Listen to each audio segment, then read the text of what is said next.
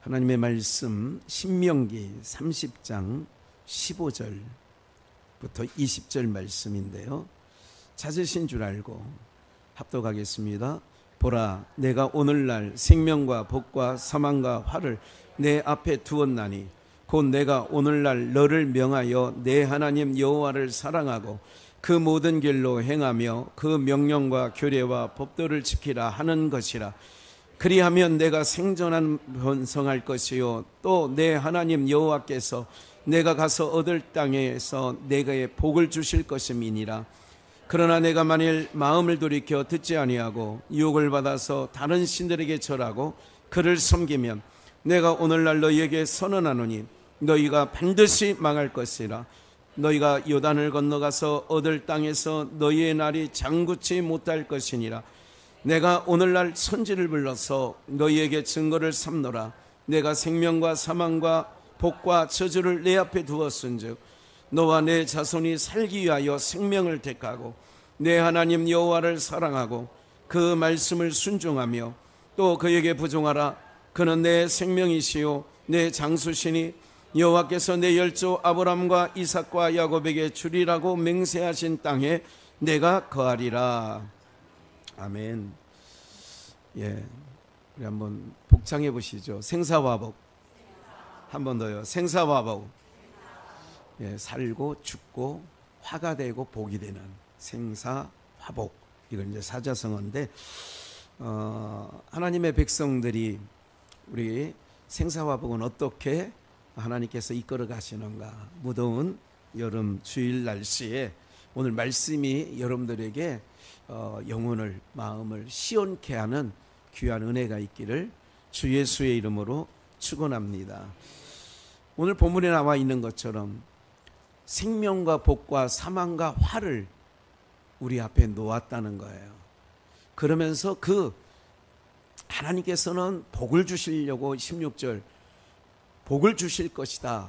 얻은 땅에서도 가난 땅에 들어가서도 단서가 있죠. 노란 글씨 나는 다른 신들에게 절하고 그를 섬기면 안 된다는 거예요. 18절 계속 보시면 그래서 이제 오늘날 내가 선언한다는 거예요. 너희가 다른 이방 신들을 섬기면 18절 반드시 망할 것이야. 반드시. 네, 반드시 망한다는 거예요. 어떨 때요? 다른 신을 섬기면 하나님을 떠나면 그래서 너희가 요단을 얻어 건너가서 얻을 땅에 가서도 너희 날이 장구치 못한다. 어떻게 하면 하나님만 바라보고 하나님만 섬기면 괜찮은데 다른 신들 이방인들을 친근히 하면 그렇게 된다는 거지요. 그래서 한 번 더 강조를 하죠. 오늘 본문의 15절에도 강조했고 말씀에 있고 19절에도 한 번 더 얘기하죠. 내가 오늘날 천지를 불러서 너희에게 증거를 삼노라 내가 생명과 사망과 복과 저주를 내 앞에 두었은즉 너와 내 자손이 살기 위하여 뭐를 택하라고요? 우리가 이제 늘 여러분들 공식처럼 늘 말씀드렸던 거 윗동네 아랫동네 얘기를 했고 하나님 나라와 세상 나라를 얘기하는 거예요. 하나님 나라는 무슨 나라? 빛의 나라니까 빛의 나라. 세상 나라는 어둠의 나라. 하나님 나라는 생명의 나라예요. 그럼 세상 나라는 사망의 나라. 하나님 나라는 의의 나라예요. 그래서 세상 나라는 무슨 나라? 불의의 나라. 그런 거예요. 그러니까 위, 윗동네는 빛의 나라, 생명의 나라, 의의 나라, 영광의 나라죠. 그거를. 근데 아랫동네는 어둠의 사망이 불의가 그래서 세상은 점점 불의해지는 거예요. 막장으로 가죠. 파리 올림픽은 여러 어, 그 기독교 우리 그 목회자들, 신학자들 굉장히 염려하는 것이 너무나도 드러나 있어요. 그러니까 그 여러 가지 일들을 이렇게 보면서 이거는 로봇인가요? 뭐 백말 타고 이제 그 복면을 하고 마지막에 입장식 때 이제 막 뚜벅뚜벅 이렇게 하는 부분들도 연출하고 이렇게 모든 것 최후의 만찬도 완전히 어 예수님을 그냥 아주 그 비하하고 그리고 기독교 그런데 가만히 있잖아요 다들 굉장히 이건 사악한 그것을 보여주는 이번 파리 올림픽 이제 폐식은 어떤 장면을 연출할지 잘 모르겠어요. 그러니까 세계 기독교에서도 많이 그거를 지적하고 있고요.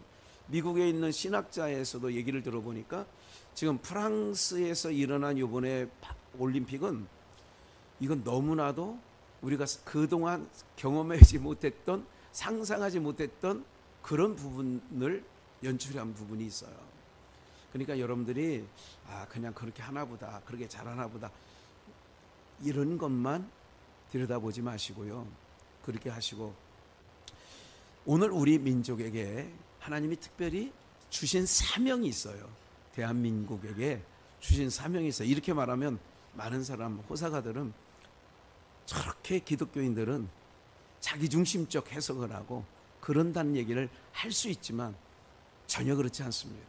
이제 두고 보면 아실 거예요. 앞으로 세상은 더 빠른 속도로 여러분들 하루에 있었 그 옛날에 100년이 걸쳐서 있, 그 100년이 걸쳐야 되는 어떤 일들이 있다면 요즘은 하루면 다 끝나요. 100년에 걸쳐서 그거를 만들어내거나 그거를 창출해낸다고 하면 지금 하루면 우리 끝납니다. 엄청난 시대에 지금 우리는 살고 있습니다. 점점 오늘 기도에도 그런 내용을 담았습니다만은 세상은 점점 그렇게 흉포화되어 가는데 믿는 우리들은 아니라고 자꾸 하나님을 오늘 말씀이 뭐예요? 사망과 이게 생명과 사망과 저주와 복을 네 앞에 두었는데 네가 살기 위하여 생명을 택하라는 거예요. 19절에 그런 얘기 아니에요? 그렇게 하면 결국은 20절에 보니까 내 하나님을 하나 내 하나님 여호와를 사랑하고 봐요. 하나님을 사랑하고 말씀을 뭐하고 순종하며 그에게 따라가라는 거예요. 주님을 따라가는 거예요. 그는 내 생명이시요 내 장수시니 여호와께서 내 열조 아브라함과 이삭과 야곱에게 주리라고 맹세하신 땅에 내가 뭐 한다고요? 여러분들 하나님께서 구원자로 예수님만 보냈습니다. 만자가 중에 예수님만 다른 이로서는 구원 얻을 수 없다고 사도행전 4장 11절 12절에 명확하게 말씀하고 있어요. 논쟁거리가 없어요. 예수님만 구원자예요. 왜 그런 줄 아세요? 이제까지 말씀드렸던 것처럼 세상은 사망이 왕노릇해요. 유일하게 생명의 나라에서 오신 분은 누구밖에 없어요? 그 생명의 나라에서 오신 분이 예수님밖에 없기 때문에 사망 속에 저주 속에 불의 속에 살아가고 있는 우리들은 그 예수님만 생명이기 때문에 이건 요한복음 1장 1절에서 3절에 그렇게 얘기하죠. 대초에 말씀이 계시나 이 말씀은 누구 함께 계셨어요? 하나님과 함께 계셨고 이 말씀이 곧 하나님이시니라. 3절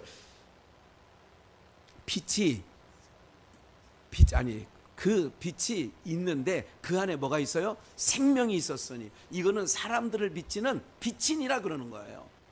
그러니까 생명, 빛 이렇게 얘기하는 거죠. 누가? 예수가. 그래서 예수님밖에 없어요. 여러분들 사망의 나라에서 태어난 그 누가 석가도 공자도 어느 누구도 이 어둠의 나라에서 태어, 태어난 사람은요 사망 그 자체에서 태어났기 때문에 자기가 생명을 줄 수 있는 게 아니에요. 오직 그래서 예수님은 요한복음 16장에 나는 길이요 진리요 생명이니 나로 말미암지 않고는 아버지 나라 갈 수 없다. 요한복음 14장 6절에 그렇게 기록했단 말이죠. 길이에요. 빛이에요. 그분이 생명이에요. 진리예요. 오늘 살아가는 여러분들 그러면 우리가 살 수 있는 길을 얘기하는 거예요. 네가 자손이 19절 마지막 부 너와 내 자손이 살기 위하여 뭐를 택하라는 거예요? 생명을 택하라는 거예요. 살기 위하여 뭐를 택하라? 그럼 누구를 택하는 거예요? 그러니까 구약에는 하나님 편에 서는 거예요. 주님 말씀하셨잖아요. 괜찮아요. 그냥 놔두세요. 어, 길이요? 어, 같이 예배 드려. 길이요? 진리요? 생명이라고 그랬잖아요.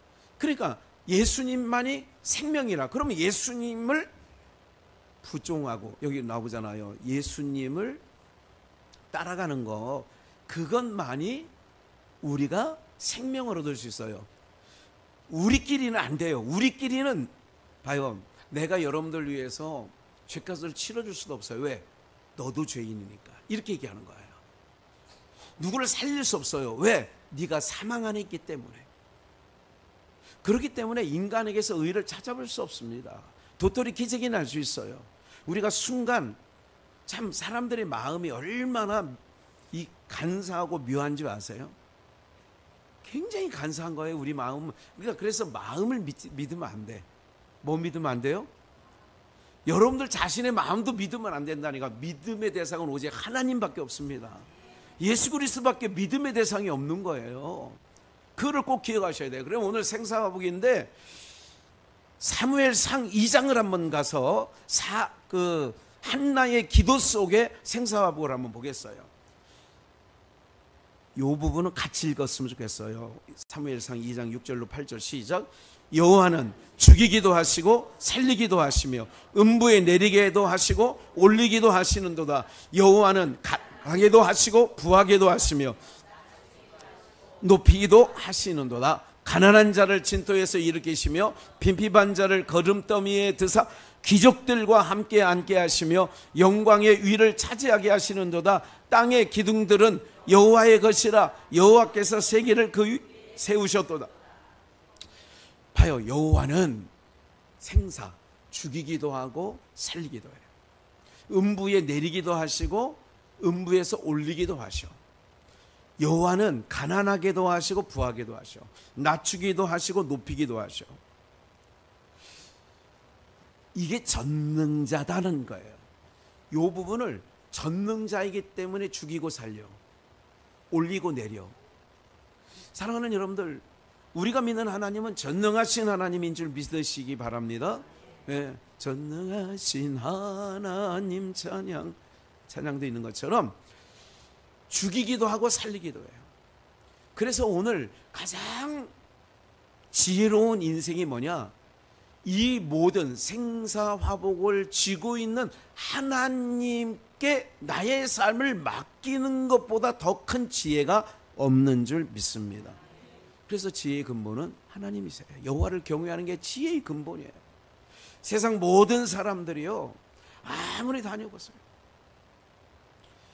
여러분들 요즘에는 사람이요 처음엔 이게 인식론이라는 게 뭐냐면 처음 봤을 때는 화들짝 놀래요. 두 번 볼 때는 조금 덜 놀래. 세 번 보면 어 뭐 그렇지 뭐 듣는 것도 그렇고 보는 것도 그래요. 듣는 것도 누가 아버지가 아들을 훈계한다고 때리다가 다리를 부러뜨릴 때 몰라. 그래 이제 좀 세월이 지났어. 근데 아버지가 아이들을 술 먹고 와서 기분 자기 기분 나쁘다고 한 대 때리는데 잘못돼 가지고 하반신 불순이 됐대. 하반신을 못 쓴대. 어우 그런 일이 있었어? 깜짝 놀라. 또 몇 년 지났어. 아 근데 아들이 아버지를 때려가지고 죽였대. 아니 세상 말세야 말세. 이렇게 가는 거예요. 지금은요 어떤 세상이냐면 어제 장로님 아니 장로님 안 가셨구나. 어제 청소 마치고 바깥보다 교회가 시원하니까 이분들이 안 가는 거예요. 청소 끝나고 안 가. 그래 12시 반인가 1시가 되니까 목사님 점심 안 드세요? 갈비탕이나 빨리 드시러 가시죠. 그래 못 이기는 척하고 아 갑시다. 그럼 내가 말하는 갈비탕 집으로 갑시다. 여기 준해감리교회 여기 그 저기 휴먼시아 있는 그 거기 어디 뭐 가는 한 몇 번 먹어보니까 아유 뭐 그냥 맛은 있는데 내가 생각한 것보다 좀 덜해. 그래서 어디를 가냐면 부인도 사거리를 지나서 저기 소물이 그러니까 고물이 쪽 가는데 거기에 갈비탕 집이 언제 한번 먹어봤어요. 그래 어제 글로 전화를 해보니까 열어놨대. 같이 가서 잘 먹어요. 갈비탕이 어, 13,000원밖에 안 해. 14,000원이야? 깎으면 안 되지. 그래 14,000원. 아, 그렇지. 대접해 드리는데 1,000원 깎으면 기분 나쁘지. 15,000원. 그래. 내가 더 아, 그래 현순이 권사님도 시, 저기 친정 아버지 갖다 드린다고 한 그릇 포장할 정도로 아주 옛날 송주 가마골 초창기 그런 갈비탕보다 더 맛있어요. 더 고기도 많고 그 침을 꿀떡꿀떡 넘기시는 분이 계시는데 여러분들 우리가 잘 보세요. 우리의 입도 그래요.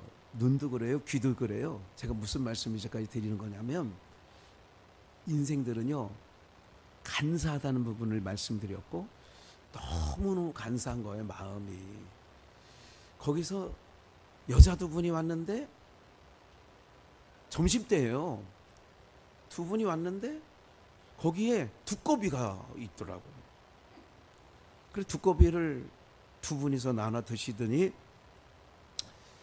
그리고 또 바로 그 베란다 쪽에 나가더니 담배를 뽀금뽀금 펴. 근데 제가 말씀 말씀드렸어요. 그걸 한 20년 전에 그런 걸 보면 다들 마음속에 어이구 이러죠.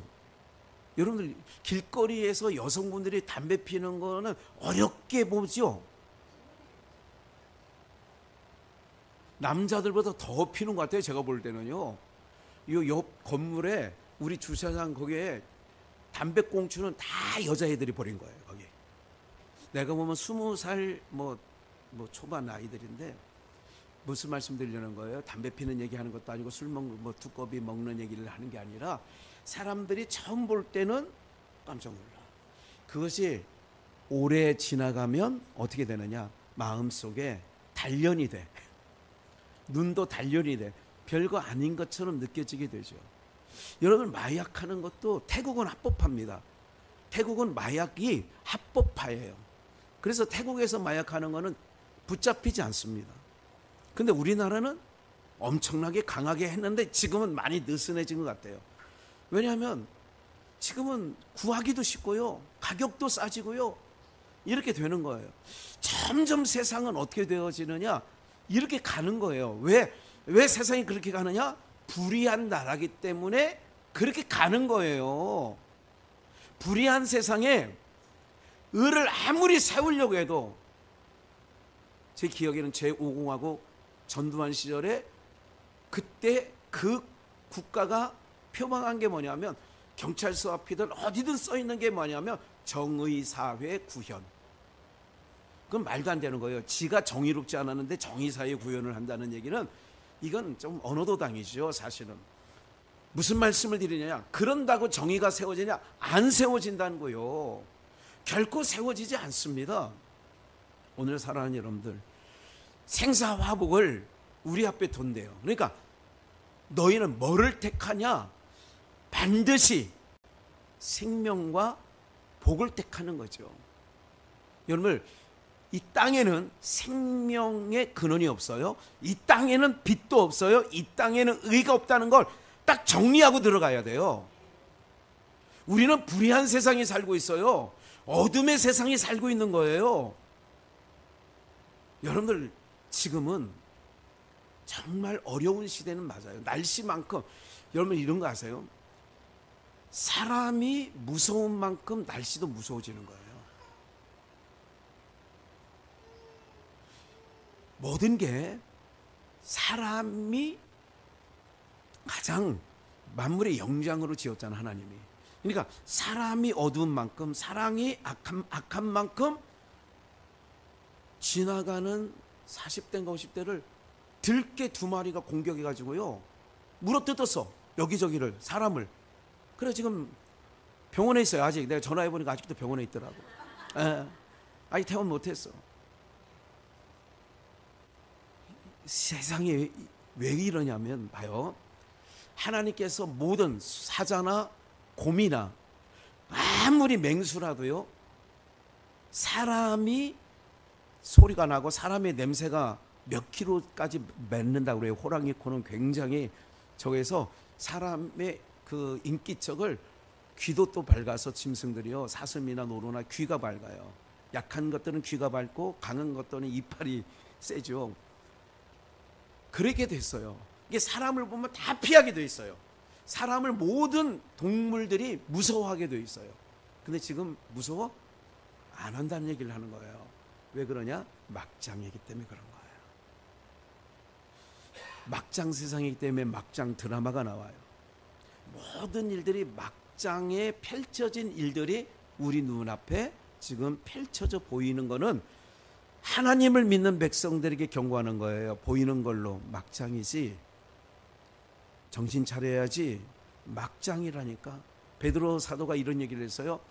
만물의 마지막 때가 가까웠으니 너희가 그다음 뭐예요? 뭐를 차려? 정신을 차리고 또 뭐 해야 돼? 자라고 해요? 깨어라고 해요? 깨어 기도하고 나눠주기를 하나님이 너희에게 공급하는 것처럼 하고 여러분들 저는 이런 생각을 많이 해요. 제가 바르다는 건 아니에요. 저 참 못됐죠. 그런데 중요한 게 있어요. 여러분들 하나님께서 우리를 사랑하시는데 뭐냐면 예수 그리스도로 인쳤느냐 안 인쳤느냐를 첫 번째 따져. 하나님의 예수 그리스도의 피로 네가 덮음을 입었느냐 가리움을 입었느냐 예수 그리스도의 피가 있냐 없냐를 따진다고 하나님이 우리를 따지실 때에 그러면 오늘 여기 계신 모든 분들은 예수 그리스도의 피로 덮음을 입은 자들인 줄 믿습니다. 그래서 칭의예요. 의롭다 칭해 주는 거야.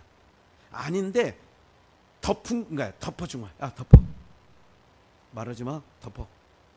이게 하나님께서 우리를 향한 사랑이에요. 오늘 이 모든 세계를 통하여 만물의 마지막 때가 가까운 것을 우리는 알아야 돼요. 이 세상의 기준으로 여러분들의 사고가 같이 흘러가지 않기를 주 예수의 이름으로 축원합니다. 세상이 오름이 아니에요. 항상 기억하세요. 세상은 오름이 아니에요. 오직 오름은 하나님만 오름이 있어요. 이거에 정리 안 되면 헷갈려 살아요. 뭐가 오름인지 뭐가 그름인지. 여러분들 그래서 하나님 편에 서라는 거예요. 생사보고의 주관자이신 하나님 편에 있으나 그는 죽이기도 하고 살리기도 하고 음부에 내리기도 하고 올리기도 하고 가난하게도 하고 부하게도 하고 낮추기도 하고 높이기도 하는데 하나님 그래서 하나님 편에 있는 거예요. 하나님 편에 서시기를 다시 한번 축원합니다. 누구 편에 서라고요? 이기는 편이 아니라 하나님 편. 예. 네 편, 내 편이 아니라 하나님 편. 고린도전서 그러기 때문에 바울 사도는 이렇게 얘기합니다. 내가 생각건데 하나님이 사도인 우리를 뭐 하기로? 아니, 하나님이 사도인 우리를 뭐 하기로요? 아니, 선하신 하나님이 하나님이 바울 사도를 죽이기로 작정한 자 같이 끝에 미말에 두셨음에 우리는 세계 곧 천사와 사람에게 무슨 거리가 돼요? 죽이기로 작정한 자 같이.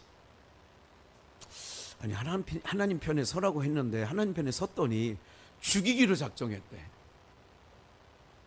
이걸 한 가지 알고 계셔야 돼요. 여러분들 제가 이제 조금 더 제가 조금 더 머지않은 시기에 이제 우리나라에 대한 하나님의 부르심의 내용에 대해서 더 말씀드릴 거고요. 그리고 어떤 부분에 대해서 더 말씀드릴 거냐면 천년왕국에 대해서도 좀 더 말씀드리려고 하고 있고요. 왜냐하면 보여지는 게 있어서 그래요. 우리를 죽이기로 작정했다. 그래서 미말 끝에 두셨다. 천사와 사람들에게 무슨 거리가 되겠어요? 구경거리가 되었었다. 우리 한번 고린도 교회에서 말씀하신 고린도서 1장 8절 한번 더 보겠어요. 여러분들이 분홍색이든 분홍색으로 보이는 분은 분홍색, 보라색으로 보이는 분은 보라색으로. 네, 더 이상 따지지 말고, 아, 목사님 연분홍인데 뭐 이런 색이 이렇게 아리까리게 하지 말고, 그거는 여러분들이 다 읽는 거예요. 그리고 하늘색도 여러분들이 읽는 거예요. 그러니까 색깔 있는 건 여러분들이 다 읽는 거예요. 색깔 읽는 거는 형제들아, 우리가 아시아에서 당한 을 너희가 알지 못하기를 원치 아니하노니 힘에 지나도록 바다 살 소망까지 끊어졌어요. 봐요. 당한 환란을 알지 못하기를. 그러니까 알았으면 좋겠다. 근데 이게 힘에 지나도록 해요. 힘에 지나도록 심한 고생을 받아 예수 믿어서 복 받은 거예요. 이 정도면 여러분들 복 받은 거예요. 예수 믿어서 복 받아요? 심한 고생을 받아 무슨 소망까지 끊어져요?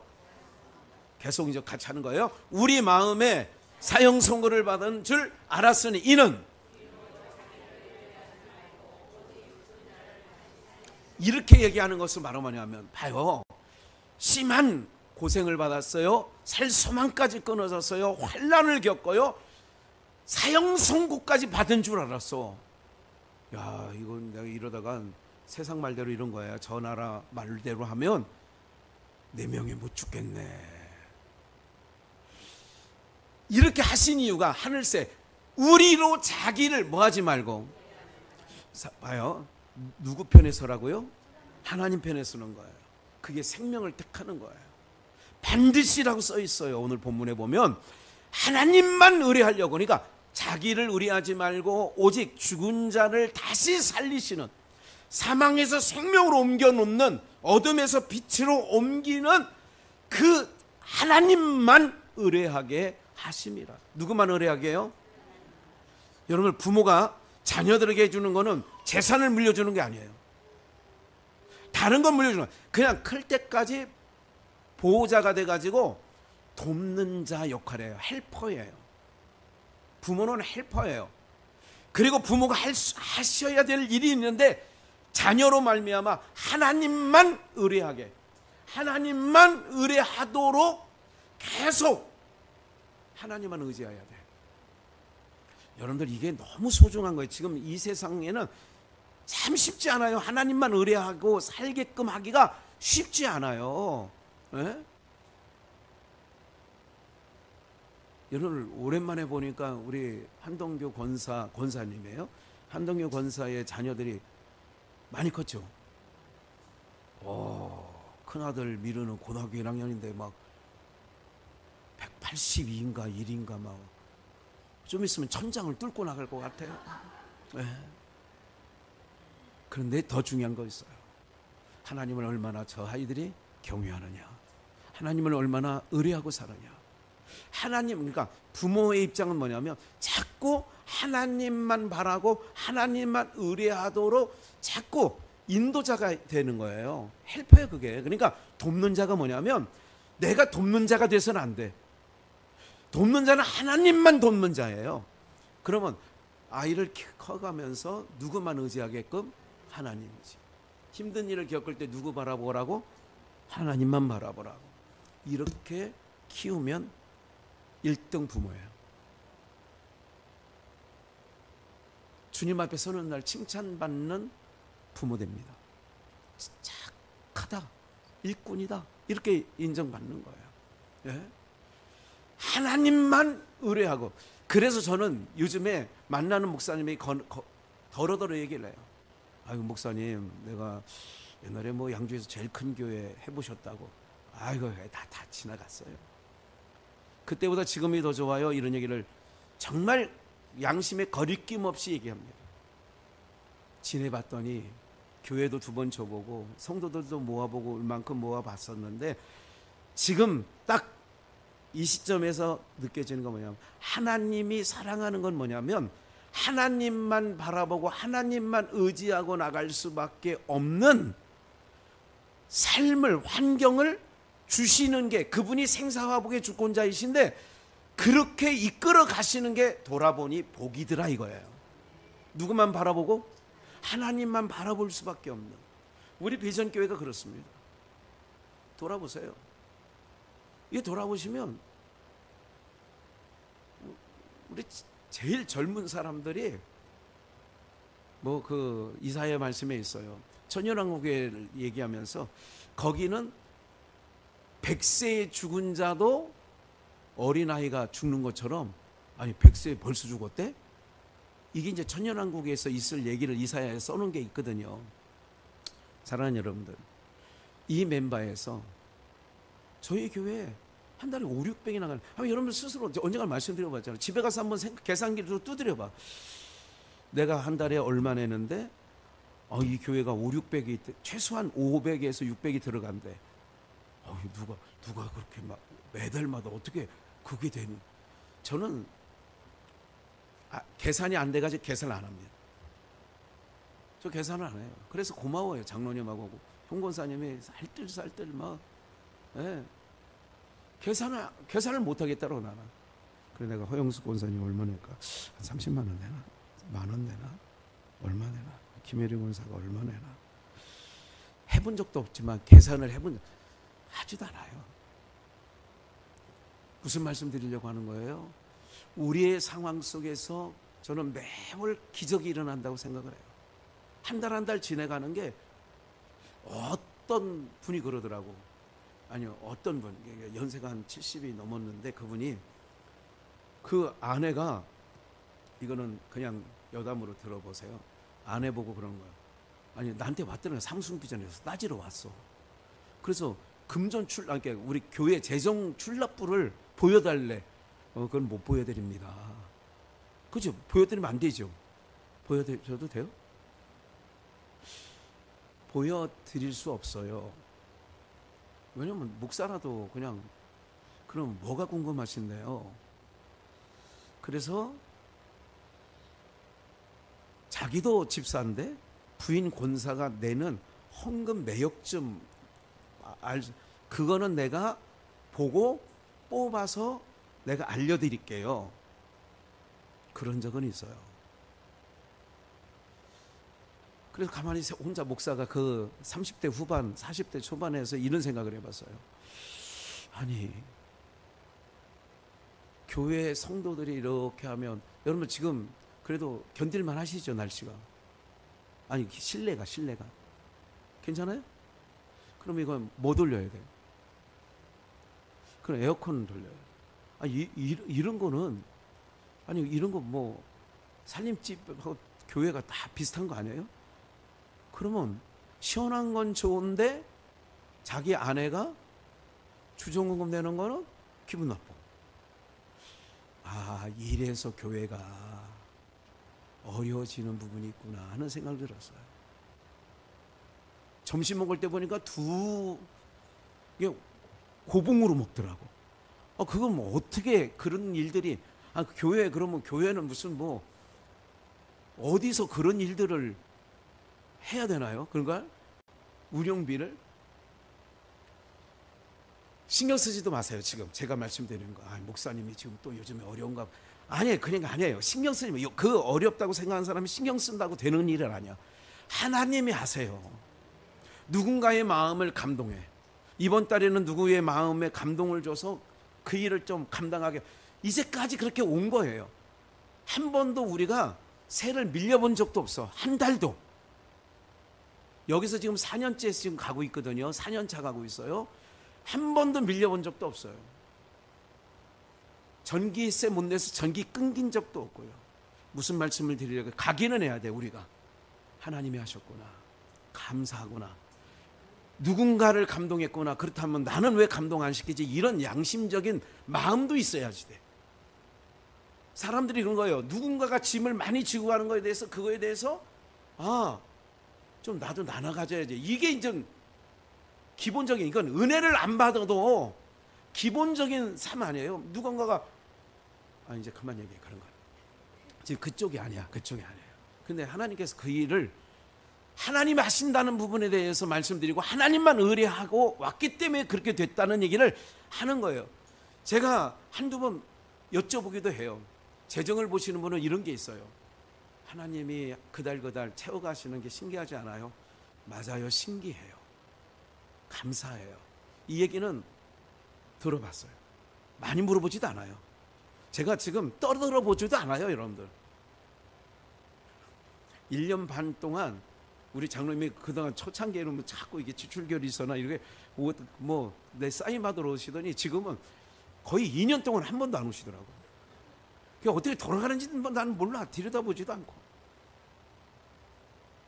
사랑하는 여러분들, 우리가요, 하나님만 여기 우리로 자기를 가지면 왜 환란 심한 고생을 받아 살 소망까지 걷고 마음의 사형 선고를 받은 줄 알았는데 이렇게 한 거는 이는 이유접속사 앞에 것에 대한 설명이에요. 환란을 심한 고생을 사형 선고까지 이런 일을 겪은 이유는 뭐냐?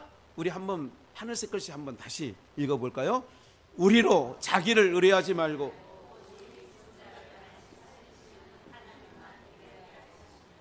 우리를 우리로 자기만 의뢰하지 말고 자기를 의뢰하지 말라는 거예요. 그래서 자녀를 부모 의뢰하게 하면 안 돼. 너도 하나님이 아버지 그 얘기를 해줘야 돼 그 대신. 우리가 여기 온 것은 여기까지 온 것은 하나님이 하셨어. 너도 하나님만 의뢰하면 하나님이 너의 인생도 이끌어 가실 거야. 할렐루야. 이렇게 꼭 말해 줘야 돼요. 이런 말을 안 하면 그게 하나님을 그래서 내 부모를 공경하라 제5교명은 하나님을 아는 어머니 아버지가 하나님을 모르는 자녀에게 하- 아버지 어머니로부터 하나님 경외하는 것을 배우는 거예요. 저렇게 겉 매모새를 1m 83이다 공부를 잘한다 이런 것도 있지만 이건 예수 안 믿어도 저 바깥 세상에 보면 해. 그게 아니야. 옷 반명해 주는 것 저 바깥에 있는 사람들도 해. 오늘 우리가 그게 중요한 게 아니라는 거예요.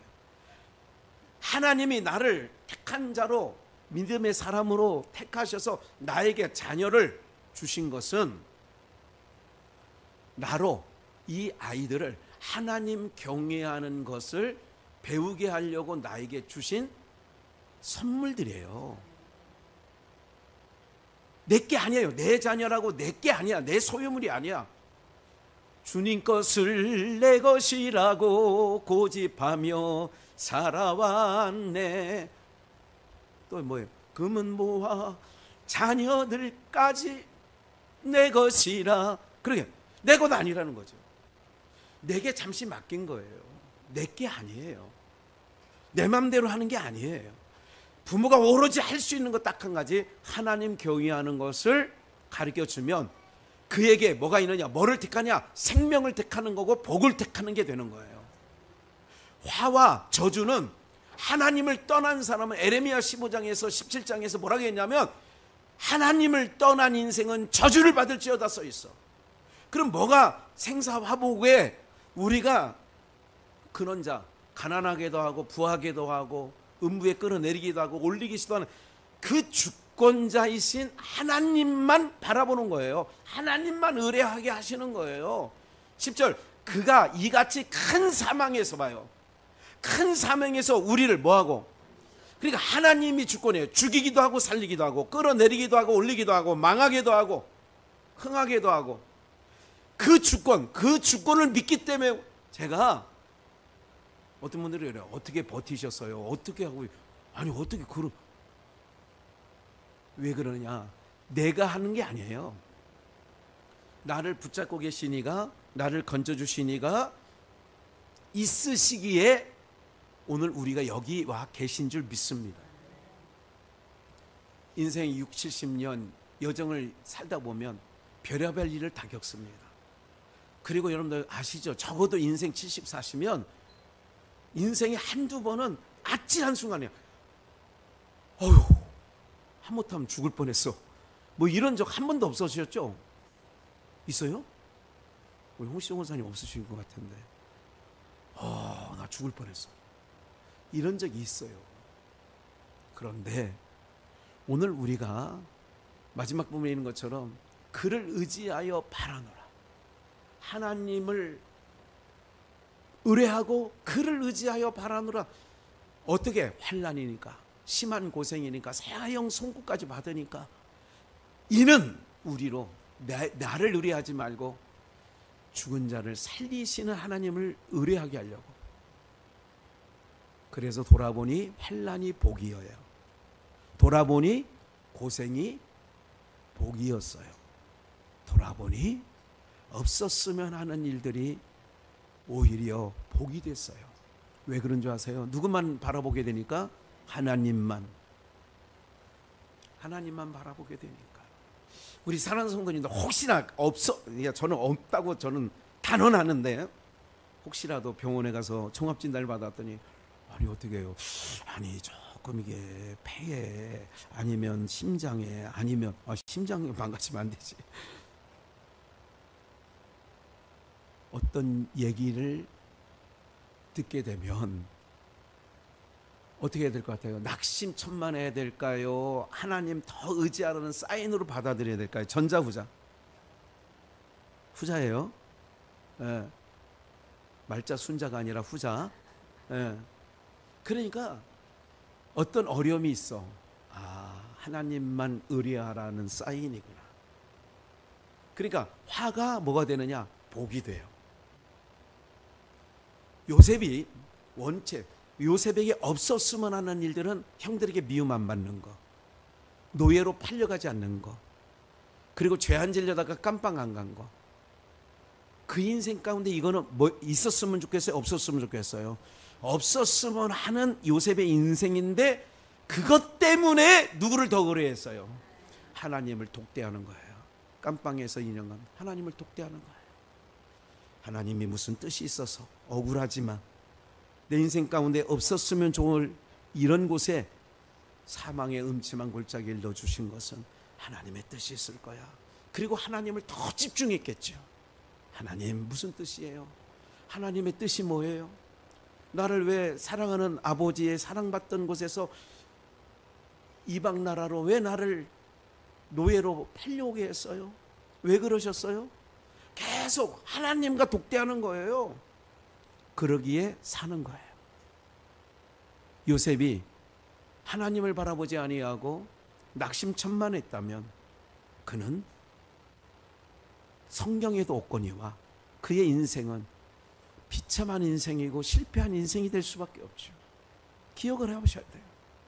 오늘 모두가 그런 거예요. 신약 구약에 있는 모든 믿음의 선진들이 어려움이 없었던 자는 다윗도 쫓겨다니고 죽을 뻔하고 고비를 넘기고 사랑하는 여러분 이것은 인생 가운데 없었으면 좋지만 돌아보니 제, 저를 정말 저는 그 생각을 많이 해요.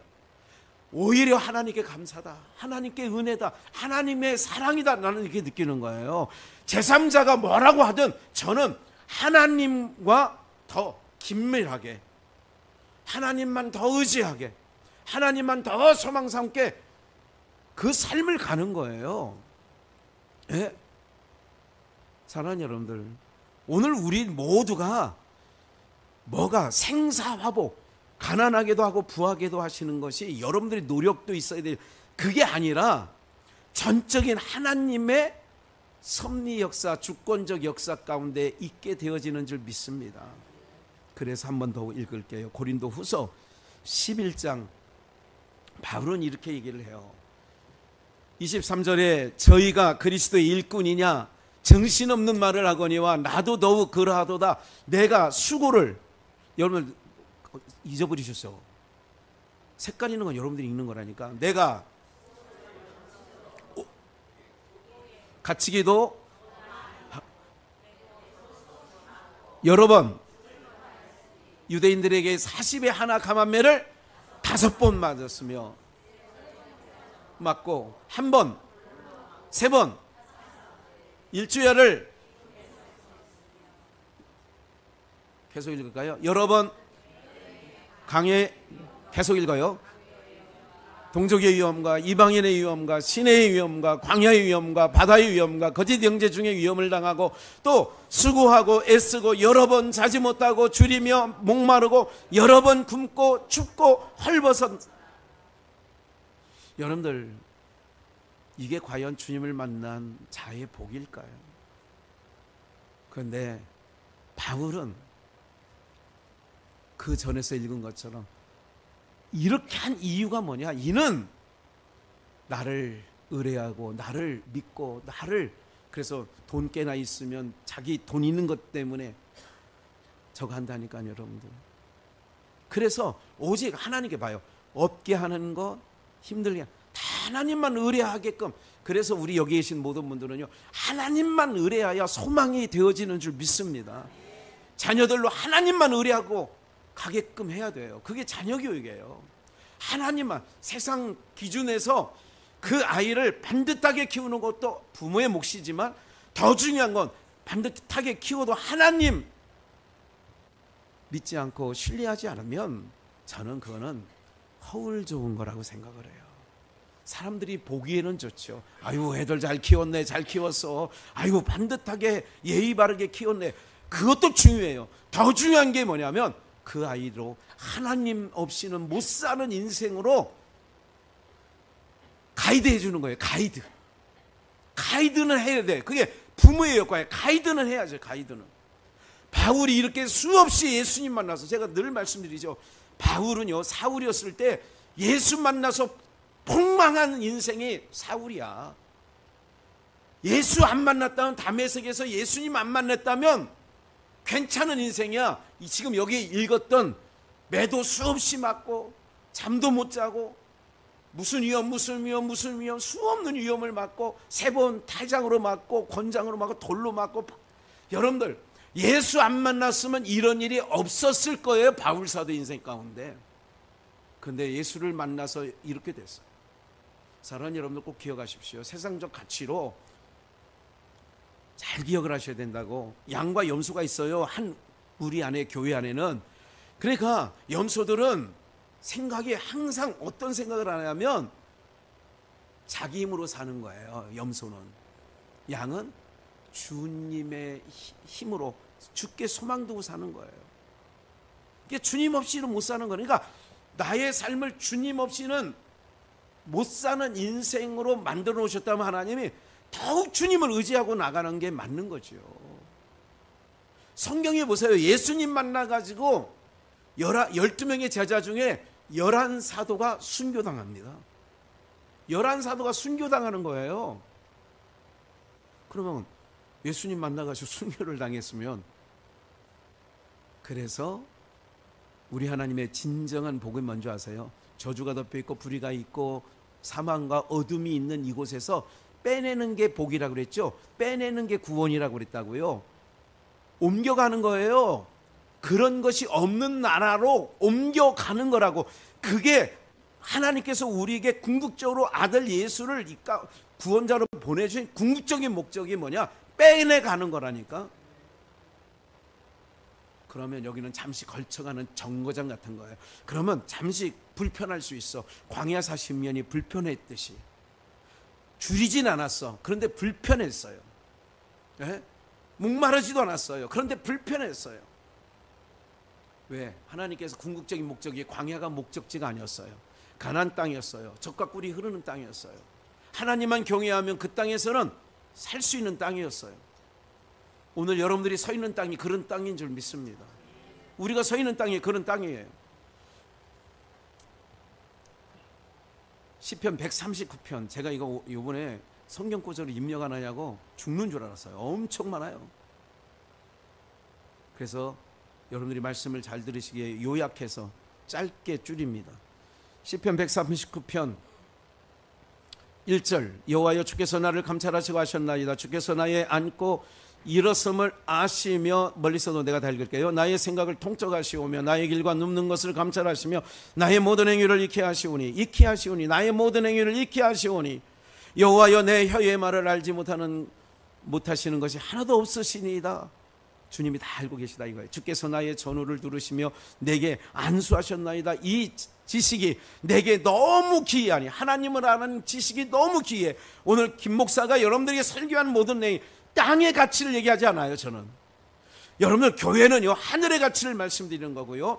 그래서 땅에 힘겹게 살아가는 자기 백성들에게 하늘의 소망을 두고 살아가겠고 예배 한 번 드리고 나면 그래 우리의 소망은 하늘에 있지. 그래서 자꾸 마음을 어디에 두게 한다고요? 하늘에 두게 하는 그게 하늘에서 내린 서기관들이에요. 7절 내가 주의 신을 떠나 어디로 가며 주의 앞에서 어디로 피하오리까 주님 앞에는 피할 데가 없어요. 내가 하늘에 올라갈지도 거기 계시며 음부의 대자리를 펼지라도 거기 계시니 내가 새벽 날개를 치며 바다 끝에 가서 거할지라도 곧 거기서도 주의 손이 나를 뭐 하시고 그러니까 음부의 자리를 펴도 거기 계셔서 나를 인도하신대.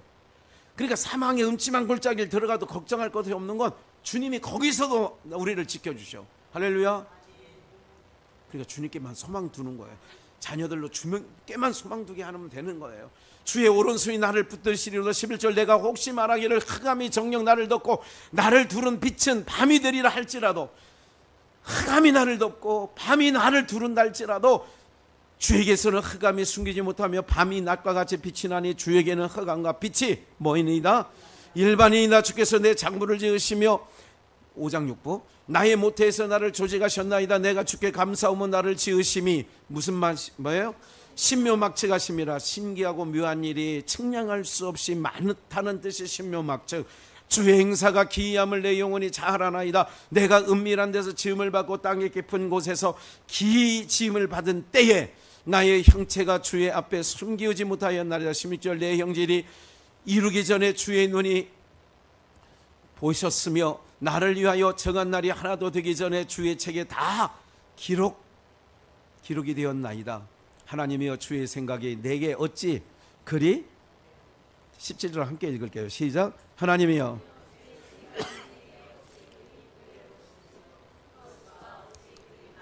요게 신묘막측이야. 하나님이여 주의 생각이 내게 어찌 그리 보배로우신지요. 그 수가 어찌 그리 측량할 수 없는 신묘막측 하신지요. 그분께 맡기는 게 지혜인 줄 믿습니다. 그래서 제일 지혜는 뭐냐? 그분께 맡기는 거예요. 나를 향한 보배로우심이 어찌 그리 많은지요. 우리를 향한 수가 그렇게 우리는 수가 없어. 아 이래 봐도 저래 봐도 수가 없어.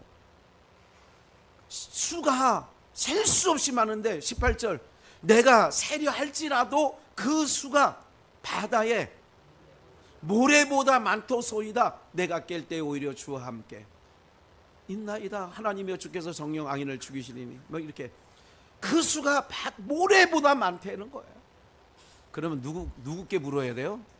수가 많으시 나는 수가 없어 그런데 내가 수가 없을 때 누군테 맡겨야 돼요? 왜 하나님께 맡겨요? 어이구 어떻게 알았어요? 이거 어려운 문제인데 이게 답도 척척이야. 어. 내가 내가 문제를 끌고 가는 게 옳아요. 수가 많으신 분에게 맡기는 게 옳아요. 그래 맡기는 거예요. 자녀요. 내가 이끌어 가려면 요 머리수밖에 없어. 그런데 하나님께 맡기면 모래의 수보다 많아. 그게 뭐가 지혜예요? 그래 내가 하나님을 전적으로 믿고 신뢰한다면 하나님께 맡기는 거죠. 네. 그렇게 되는 거죠. 오늘 사랑하는 여러분들, 우리는 모든 생사화복의 주인 되시는 주권자 되시는 하나님이 우리 아버지인 줄 믿습니다. 제가 요즘에 그냥 기도할 때 하나님 아버지 그냥 제가 말하는 거는 입에 발린 아버지가 아니에요. 진짜 아버지. 여러분 하나님을 대할 때 좀 친근히 이렇게 해야 돼요. 아버지 나, 나 아버지 너무 좋아. 아버지 나 좋아요. 감사해. 정말 좋아. 감사해요. 그럼 입이 저절로 이렇게 저가고 또 그 사랑이 막 사무쳐 올 때는 눈물이 막 핑 돌기도 하고 요즘 그런 삶을 살고 있어요. 사랑하는 여러분들 오직 주님께 맡기십시오. 오직 주님께 맡기면 그 주님이 우리의 모든 것 되셔서 여러분들 생사복의 주권이 그에게 있어요.